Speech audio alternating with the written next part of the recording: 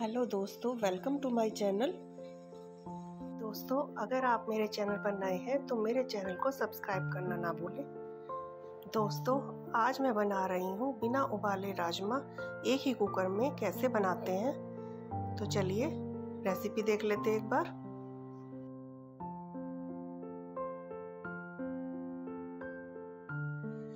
मैंने राजमा को भिगाकर ओवरनाइट भिगा लिया था। अभी हम साफ़ पानी से धो लेते हैं इसको। कुकर चढ़ा देते हैं गैस पर। ऑयल डाल देते हैं इसमें। एक टेबल स्पून मैं इसमें ऑयल डाल रही हूँ। ऑयल गरम हो गया है, जीरा डाल देते हैं। हाफ़ टी स्पून इसमें हींग डाल देते हैं।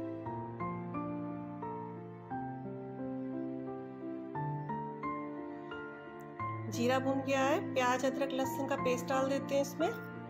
इसमें मैंने दो प्याज, एक छोटा अदरक का टुकड़ा और तीन चार कली लहसुन की ली थी, उसका पेस्ट बना लिया है। अच्छे से भून लेते हैं इसको।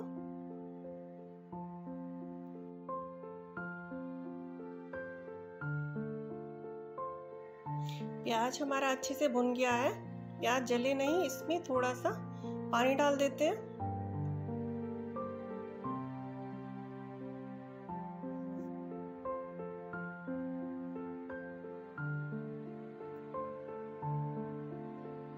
अब इसमें कुछ मसाले मिला लेते हैं।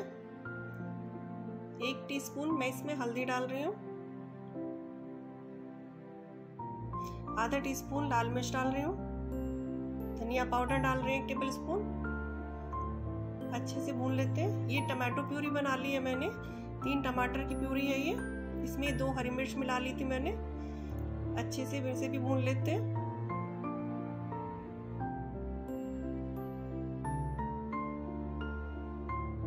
मसाला हमारा अच्छे से भुन गया है। ऑयल छोड़ दिया है इस मसाले ने। इसमें कसूरी मेथी डाल देते हैं।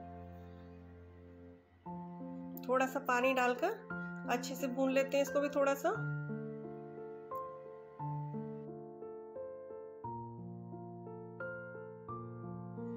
अब इसमें राजमा डाल देते हैं।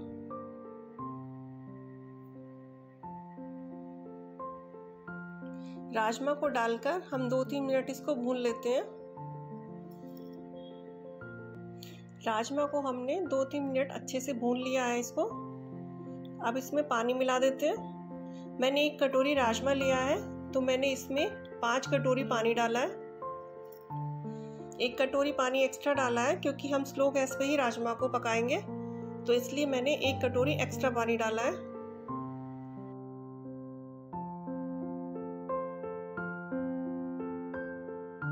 अब इसमें नमक डाल देते हैं। टेस्ट के अकॉर्डिंग नमक डाल दिया है मैंने इसमें। इसको बंद करके हम दो सीटी लगाएँगे फुल फ्लेम पर।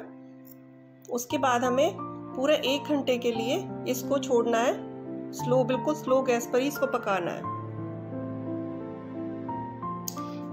राजमा रेडी हो गए हमारे। हरा धनिया डाल देते हैं इसमें। सर्व कर लेते हैं इसको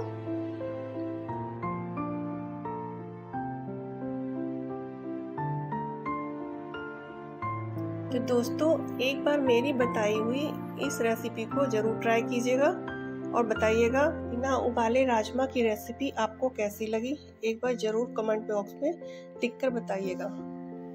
Thank you